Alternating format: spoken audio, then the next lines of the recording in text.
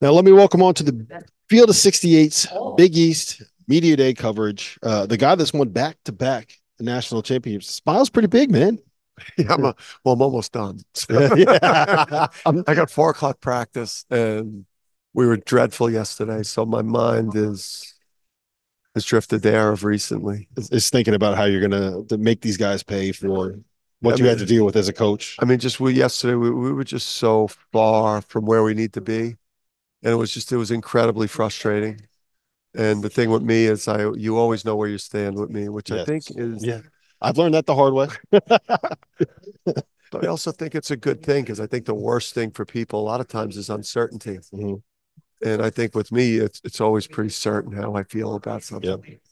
So I watched the the exhibition against Rhode Island, and I thought that there were some really good things that came out of it. Solo specifically, I thought Aiden, look, he's got a little bit of shit to him. The rebounding, I know you weren't very happy about that. When you lose Donovan Clingan a year after losing Adama Sanogo, that Yeah. you're going to have a void to fill there on the yeah. interior. How is that kind of coming along? Yeah, I, I don't even know. I would say defensive rebounding because I do think offensive rebounding will continue to be a strength for us. Um, you know, because we do have athletic bodies. Uh, we do shoot a lot of threes, uh, and we're relentless with how hard we play. So offensive rebounding, I think, will continue to be a strength for us. Um, you know, the defensive rebounding is is certainly a concern. When you saw that box score and it said 18 offensive rebounds, did was the ga- the, the steam coming out of your ears? Yeah, out I, of your mean, I was losing my mind. And four of them, you know, quite honestly, four of them were were free throw rebounds, you know, which were I were love that. which were incredible to me. And and Karaban was involved in three of them. So uh, you know, which was off off brand for Alex. And but we covered that video the next day. But um, you know, listen, Samson, you know, Samson is at a disadvantage. Uh, I think the last thing that you do uh, in terms of getting ready for the season is is turn your attention to like rebounding drills. Mhm. I don't think any coach early on in like in like early October practices, mid October practices, you're so afraid that you're going to lose a player to like an ankle injury in a defensive rebounding drill that you kind of save a lot of that stuff for when you get closer to Yeah. the start of the season. So I'm, uh, there's obviously some things we got to mitigate from a physicality standpoint there. We're going to need our, our wings, you know, uh, we're going to need the gang rebound, but I, I think, uh, I think we'll be okay. So Solo Ball's performance, 18 points. Uh, There's been a little bit of buzz coming out of uh, Storrs about him, and it looked like he was kind of living up to that i- Is that what you've been seeing out of him all all spring and summer, and I guess the fall? So I with, with Solo, the what what kind of got us to the conclusion that you know we believe as a sophomore he could be a big jump player is you know we we we uh we liken his performance versus Carolina Mhm. here at MSG yeah. to what what Hawk did as, as a freshman in the Bahamas versus Auburn Mhm. you know, where he had that moment as a freshman multiple times where he flashed versus high end teams and, uh, you know, where we could project out that there was going to be a huge, huge sophomore year bump for him. And, uh, I- I'm, I'm pretty confident in him. I, I, I that, that sophomore class is going to determine a lot of where this season goes for us. You didn't lose anyone in that sophomore class, and if you kind of look at the way that the season played out, Solo played a bunch early, minutes kind of dwindled once you got into the meat of Big East play. Jalen didn't play a ton of minutes, right? Jayden kind of fell off once you got into the year. Youssouf didn't play all that much, and they didn't leave. Like in an era of college basketball where everybody is going to the portal, you didn't have anyone portal when you got highly recruited kids that didn't play. Yeah. Why? How? What, what are you doing? Yeah. They just got uh, to sit there and practice and listen to you. It's like, yeah, let's do this again. Run it back, coach. Yeah, Stockholm syndrome. I don't know.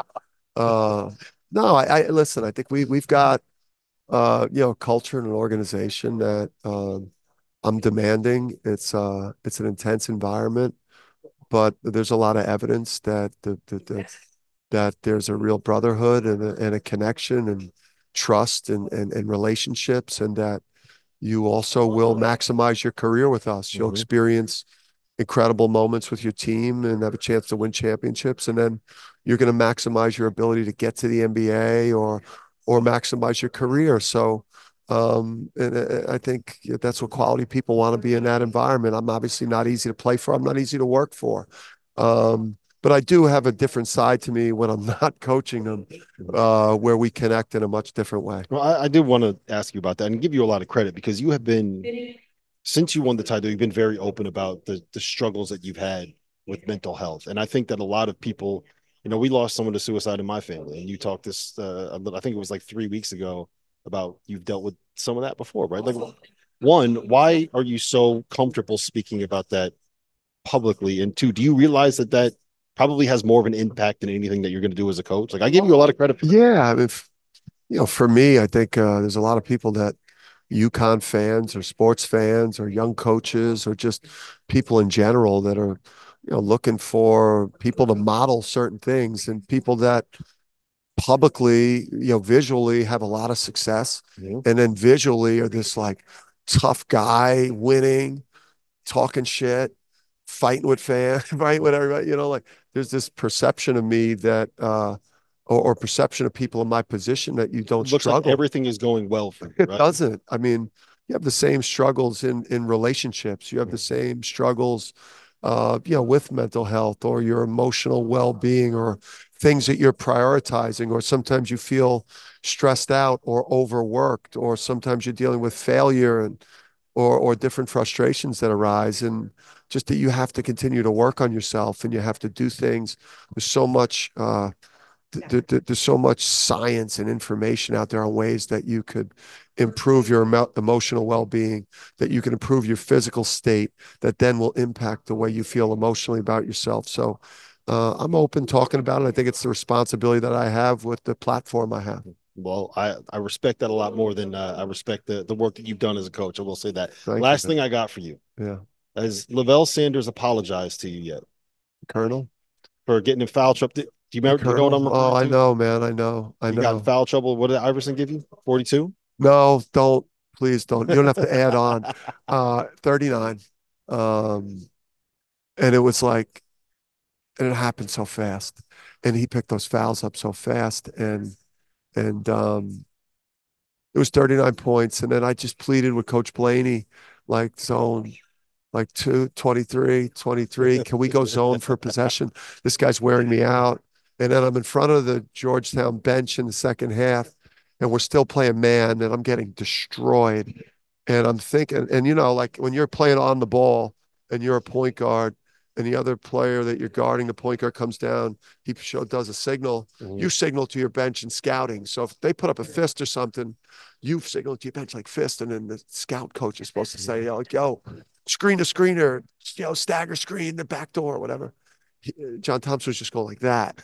so I was waving at the bench. I was waving at the bench. Hey, they're running that. And then I looked at myself. No, they're just clearing it out. You moron. well, listen, man. I appreciate the time. Let's Best go. of luck this season. All right. Go Stairway to seven. Yeah, I like it. I like it. I like it. Uh, Stairway to seven. Three-peat. I mean, yeah. I mean, we're locked in, man. We're going so hard for it. Let's go. Yep. Appreciate, Appreciate you, coach.